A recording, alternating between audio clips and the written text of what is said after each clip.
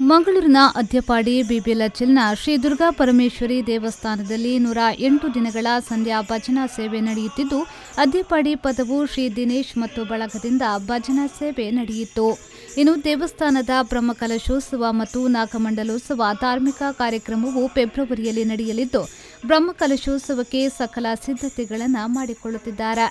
ದೇವಸ್ಥಾನದ ಜೀರ್ಣೋದ್ಧಾರ ಕೆಲಸ ಕಾರ್ಯಗಳು ನಡೆಯುತ್ತಿದ್ದು, ದಾನಿಗಳ ಅವಶ್ಯಕತೆ ಇದ್ದು ದಾನಿಗಳು ಸಹಕರಿಸಬಹುದು ಇನ್ನು ದೇವಸ್ಥಾನದ ಮಾಹಿತಿಗಾಗಿ ರಾಜೇಶ್ ಬಿವಿ ಲಚ್ಚಿಲ್ ಅವರ ಮೊಬೈಲ್ ಸಂಖ್ಯೆ nine eight eight zero zero five four three four ತ್ರೀಗೆ ಸಂಪರ್ಕಿಸಬಹುದು.